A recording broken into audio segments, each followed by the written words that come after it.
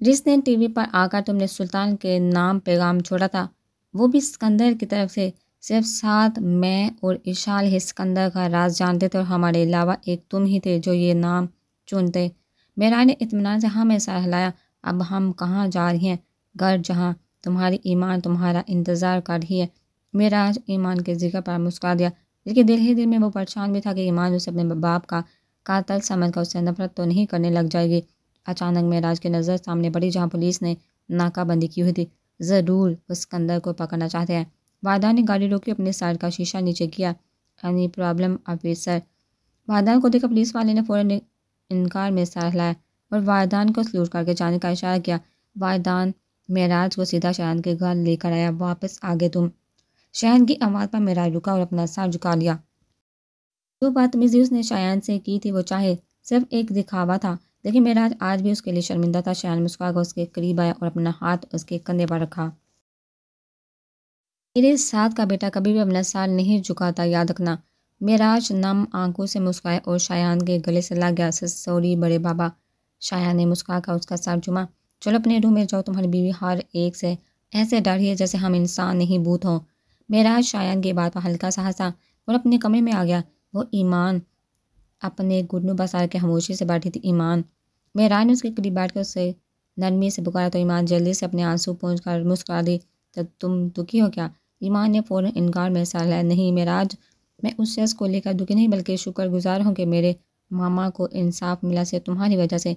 ईमान ने मेराज का हाथ पकड़ा और अकीदत से, चूमा, तुम बहुत अच्छे हो मलंग, और मैं दुआ करती हूँ कि हम दोनों हमेशा यूँ ही साथ हैं इन मेराज ने मुस्कुराते हुए उसके आँसू नरमी से पूछे और उसे अपनी गिरफ्त में लेकर मोहब्बत से उसके माथे पर अपने होंठ रखे तो ईमान सुकून से अपनी आँखें मूंद गई आज वो अपने इश्क की मंजिल पर पहुँच चुकी थी।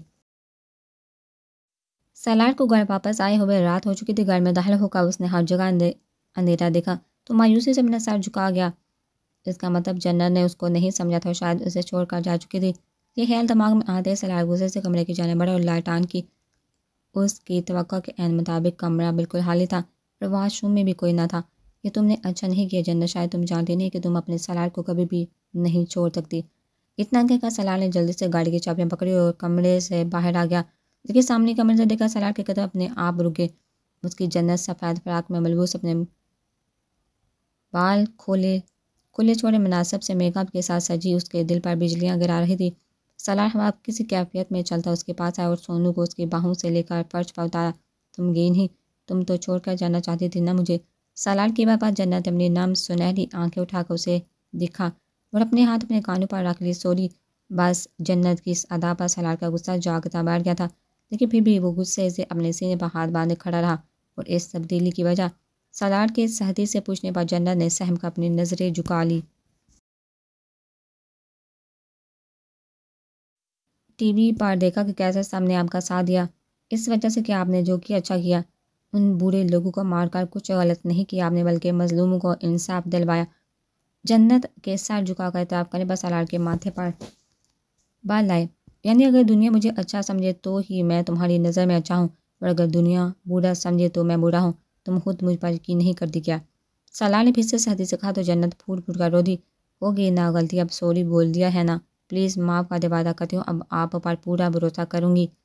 जन्नत को इस तरह से रोता देख सलार उसके पास आए और नरमी से उसके आँसू पोंछ दिए।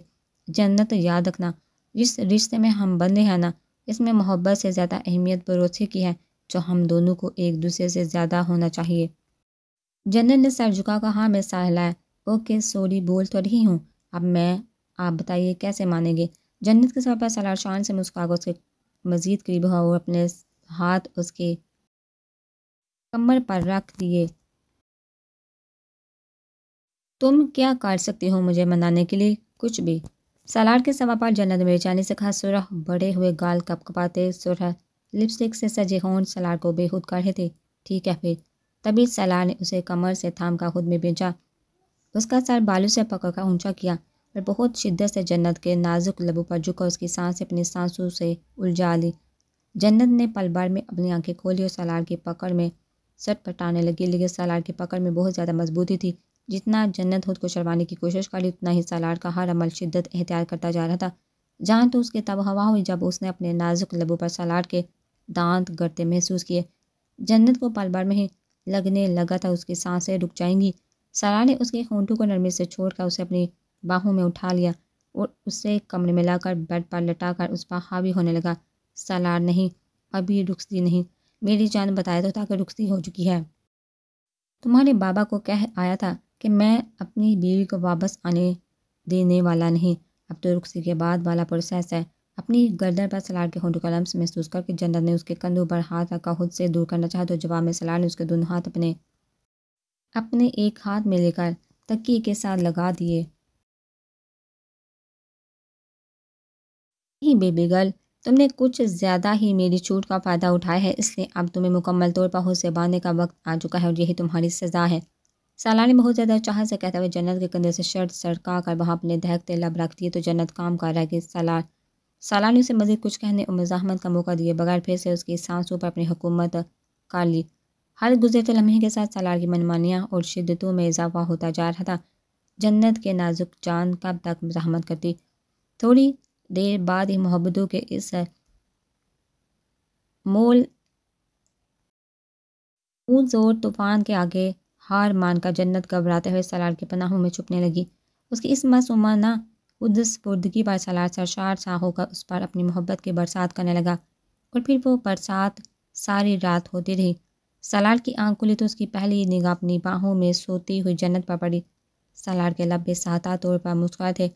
सोते हुए तो उसकी बेबी गर्ल और भी ज़्यादा क्यूट लग रही थी। सलार न जाने कितनी ही देर उसके मासूम चेहरे को देखता रहा था। फिर जब उसका ईमान डगमगाने लगा तो सलार ने झुका अपने होंठ बहुत नरमी से। उसके होंठों पर रखे थे, लेकिन जन्नत तो हर चीज़ से फरामोश सुकून से सो रही थी। तुम्हारी नींद तो बहुत ज़्यादा पक्की है, बेबी गर्ल। साला ने बहुत मोहब्बत से कहकर अपने दहकते लब जन्नत की गर्दन पर रखे, मामू सोने देना। सुइयाँ तो मत लगाए मेरे गले पर। जन्नत ने आँखें खोले बगैर बहुत लार से कहा तो सलार हंस गया नहीं, मेरा बच्चा उठने का वक्त हो गया अब उठना तो पड़ेगा। सालार ने प्यार से कहते हुए उसके गाल को हल्का सा दांतों से काटा तो जन्ना डांट के जल्दी से बैठ से उठी। उफ, कीड़ा। जन्ना ने खड़े होकर आँखें खोले बगैर अपना गाल सहलाकर कहा, और ऐसा करते हुए वो हद से ज़्यादा क्यूट लग रही थी। नहीं जान, मैं अब कीड़ा तो नहीं सलाड की आवाज़ पर जन्नत अपनी सुनहरी आँखें बड़ी करके सलाड को देखा तो रात का गुजरा, हर एक पल उसकी आँखों के सामने से गुजर गया। हया के मारे गाल दहक उठे थे नज़रें खुद बहुत झुक थी। वह मोची से भागने लगी, मगर सलाह ने एन वक्त पर उसका हाथ पकड़कर उसे खींच का खुद पर गिरा लिया। कहाँ भागना है बेबी गर्ल? जन्नत अपनी आँखें बाँध के काम थी और सलाड की नज़र बार बार उन कप कपाते होंठों पर जा रही थी। सलाड छोड़िए ना प्लीज़। जन्नत ने कहा ही इतनी मोहब्बत से था कि सलाड उसकी बात माने बगैर ना रह सका, और यही मौका तो जन्नत को चाहिए था, इसलिए जल्दी से बाकर ड्रेसिंग रूम में बंद हो गई। जन्नत, ये चीटिंग है यार, बाहर आओ। सलाह ने मोहब्बत से पुकारा, बिल्कुल नहीं, पहले आप रूम से बाहर जाइए, फिर बाहर आऊँगी मैं। जन्नत की शर्त पर सलाह ने गहरा सांस दिया और बैठ से उठकर बाहर की चानम चाल दिया। ठीक है, जा रहा हूँ मैं, बाहर अब आ जाओ। सलार ने दरवाजे के पीछे छुप कहा, जन्नत ने ड्रेसिंग रूम का दरवाज़ा खोलकर जहाँ वहाँ देखा। फिर मुस्कुराते हुए बाहर आ गई लेकिन तभी सलार दरवाजे के पीछे से निकल कर उसे अपनी पकड़ में ले चुका था। सलार, छोड़िए प्लीज़। अब तो छोड़ने का सवाल ही पैदा नहीं होता। सांसों से ज़्यादा करीब हो चुकी हैं। अब, हो चुके हैं हम, अब हम दोनों। सलार ने उसके खुले बालों में चेहरा छुपा कर कहा, तभी फ़ोन बनने की आवाज़ पर सलार ने गहरा सांस और जन्नत को छोड़े बगैर फ़ोन पकड़ कर कान से लगाया। जी बाबा सालार ने इतने कहते हुए होंठ नरमी से जन्नत की गर्दन पर रखे। सालार, बस, बहुत हो गया। क्या कहा तुमने शायान से कि जन्नत को पास ही रखोगे फ़ौरन? वापस लेकर आओ तुम उसे। उस्मान के डपने पर सालार मुस्कुरा दिया। ठीक है, पापा, हम दोनों थोड़ी देर तक शायन अंकल के घर पहुँचते हैं। उस्मान ने ठीक है कह कर फ़ोन बंद कर दिया। तो सालार ने जन्नत को देखा, जो अपना सांस रोक के खड़ी थी। आ गया तुम्हारी आज़ादी का परवाना। अब फ्रेश हो जाओ, फिर चलते हैं आपके बाबा जानी के पास, क्योंकि वो मेरे बाबा जानी के पास जाकर हड़ताल कर बैठे हैं। सालार ने उसे छोड़ा तो जन्नत जल्दी से बागा वाशरूम में बंद होगी। जैसे ही बस किसी तरह भी उसे से बचना चाह रही, उसकी इस मासूमियत पर सालार खुलकर मुस्कुरा दिया।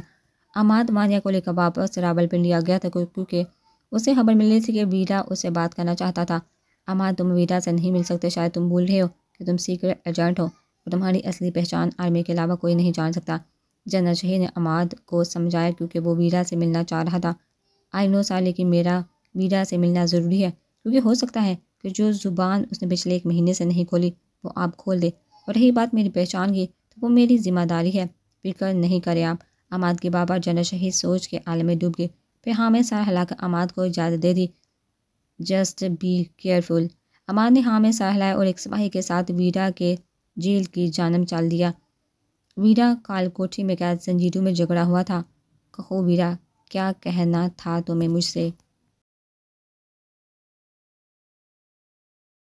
अगर की जानी पहचानी आवाज़ पर वीरा ने सर उठाकर उसे देखना चाहा, लेकिन उसका चेहरा मुकम्मल अंधेरे में था।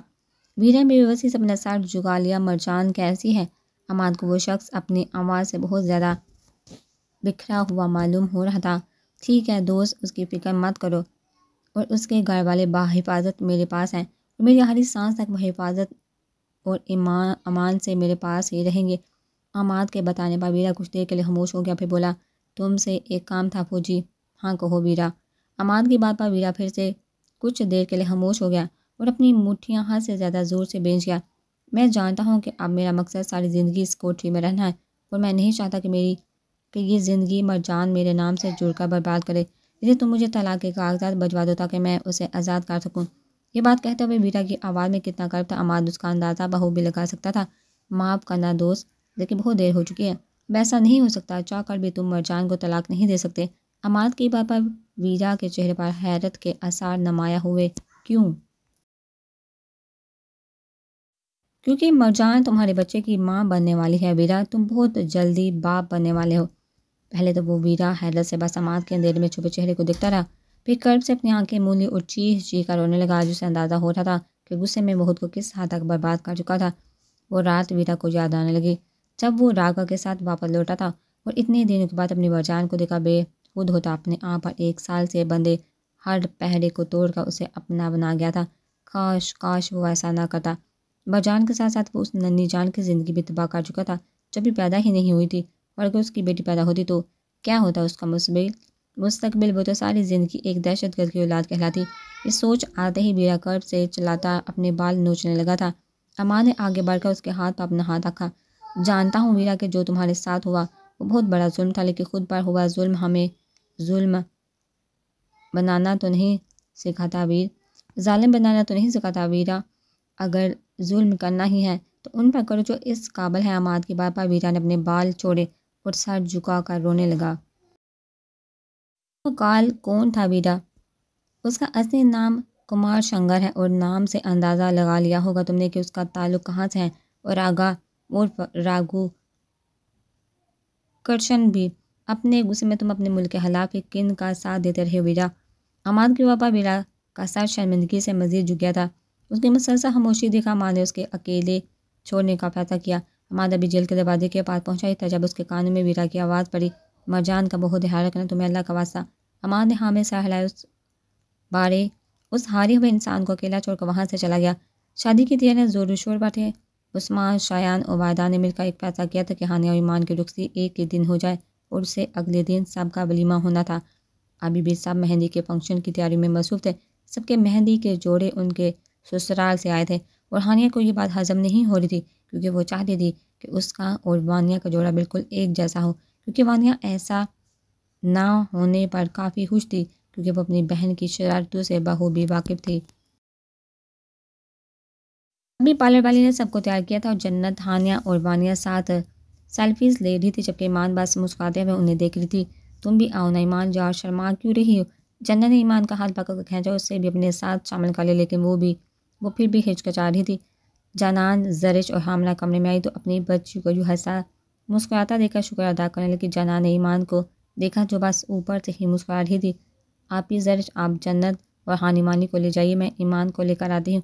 जरिश और हामना ने मुस्कुरा कहा में सालाए और उन पड़ियों की तरह सजी हुई लड़कियों को साथ ले गई जाना ने ईमान के पास आकर उसका चेहरा बहुत मोहब्बत से थामा, क्या बात है मेरी जान, तुम खुश नहीं हो क्या? अनान के सवा पर ईमान के पल के बी की नहीं, आंटी, मैं बहुत खुश बस मेरा अपना कोई भी नहीं आना।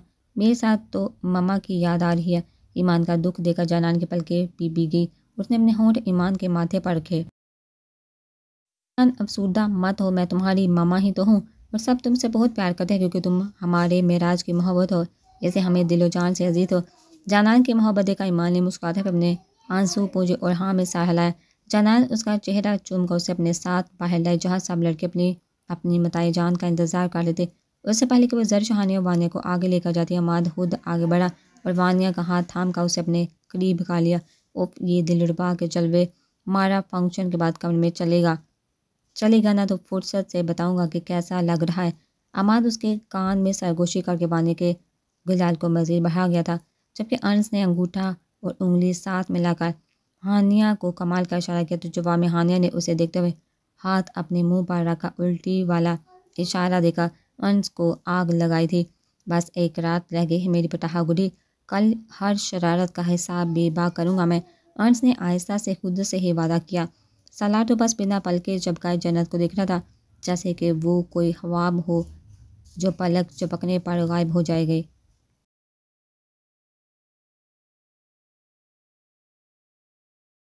अब अपनी दुल्हन को संभाल भी लो या बस यहाँ खड़े होकर इसे देख देख के रात गुजार दोगे। उस्मान ने सालार के कंधे पर हाथ रखा कहा तो सालार हल्का सा हाथ और आगे बढ़कर जन्नत का हाथ अपने हाथ में थाम लिया। कैसी लग रही हूँ? जन्नत के पूछने पर सालार उसके कान के करीब हुआ। रात को तुम्हारे रूम में आकर बताऊँगा कि कैसी लग रही बस तुम जानने के लिए तैयार रहना। सालार के शरारत से कहने बाद जन्नत ने उसे गुरा था, बस, अब बस ईमान रह गई थी। जो जनान के साथ खड़ी महराज को ढूंढी थी, मामा महराज कहाँ है? अभी अल्फाज उसके मुँह में ही थे। जब उसकी नज़र सामने आते महराज पकड़ी तो पलटना ही भूल गए हमेशा ऐनक पहनकर खुद को बूंद दिखाने वाला महराज इस वक्त गाढ़ी ब्राउन कलर के शलवार कमीज पहने, कमीज़ के बाजू को कोहनी तक फोल्ड किए और एक स्किन कलर की चुनरी गले में डाले, कहीं का शहजादा ही लग रहा था। मेरा ने करीब आकर मुस्कुराते हुए ईमान के थोड़ी के नीचे हाथ तक उसका मुँह बाँध किया। बस कार दो लड़की, नज़र लगाओगी क्या? मेराज के समय पर ईमान ने पलके चपक कर मेराज के बदले हुए तेवर देखे, मलंग तुम्हें क्या हो गया? एक रात में ही इतने प्यारे कैसे हो गए? ईमान की बार बार साथ खड़ी, जनान भी हंस दी। अब अपनी शादी पर तो अच्छा दिखने दो मुझे। बड़ी मामा, इसे मुझे दे और आप आप जाएँ। महराज ने जनान की जानब मुड़ कर कहा तो उसने मुस्कुरा का ईमान का हाथ महराज को थमा दिया। खुद शायन के पास चली गई। तब तुम भी बहुत प्यारी लग रही हो। महराज की बात पर ईमान ने शर्मा का अपना सर झुका लिया। महराज उसे लेकर बाकी कपल्स के पास आया जो तस्वीरें बनवा रहे थे और उसके बाद बहुत देर तक रस्मों का सिलसिला चलता रहा था। चलिए भाई, अब ज़रा रौनक लगाइए। हमारी मेहंदी पर इसलिए मैंने डिसाइड किया है कि मम्मा, पापा, जानू हाला, शानू हाला, हालू और हामना हाला और उस्मान हालू हमें कपल डांस करके दिखाएँगे। अचानक से हानिया ने उठकर फरमाइश की तो सब होटिंग करने लगे। हामना तो फ़ौर इनकार में सर हिलाने लगी थी, लेकिन उस्मान उसका हाथ थाम कर सबके सामने ले आया था। शर्म कर उस्मान अब जवान नहीं, हम क्या करते हैं आप? उस्मान ने हामना की कमर में हाथ डालकर मूव करना शुरू किया तो हामना हिचकचा कर बोली, बेटी की शादी है आज, बेगम, आपको तो खुशी से जवान हो जाना चाहिए उस्मान ने सबको सताते हुए कहा तो सब हंस ये लेकिन हामिर शर्मा का उससे दूर हुई थी। फिर शायन जनान का हाथ थाम का आगे हुआ और जनान ने भी, जनान ने तो कभी भी हिचकचाना सीखा ही कहाँ था। सबको अपनी अच्छी हँसी डांसिंग दिखाकर वो दोनों वादान और जरिश को अपने साथ लेकर आए थे। वादान नहीं करना डांस बता रही हूँ मैं। जरिश ने वादान को वान किया लेकिन वादान उसे नज़रअंदाज कर अपने करीब कर गया। बच्चों की खुशियों में शामिल तो होना ही पड़ेगा ना नूर खान वादान उसकी मजामत को नज़रअंदाज करते उसके उससे अपने साथ आहिस्ता आहिस्ता डां, डांस करवाने लगा। मैं खुदा का लाख शुक्र अदा करता हूँ जरिश मोहब्बत के सफ़र को इश्क की मंजिल पर पहुँचाने के लिए हमारे बच्चों की खुशियों के लिए। जरिश वारदान की बात पर मुस्कुरा दी। रमना साहब उसके सीने पर रखा कंधे पर रखा उन खुशियों के लिए वो जितनी भी शुक्रगुजार होती, वो कम ही था।